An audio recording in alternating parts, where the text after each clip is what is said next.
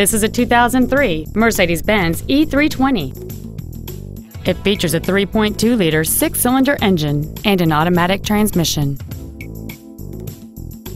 Its top features include heated seats, air conditioning with automatic climate control, cruise control, 10 perfectly positioned speakers, a leather interior, performance tires, aluminum wheels, a stability control system, an auto-dimming rearview mirror, and this vehicle has fewer than 68,000 miles on the odometer.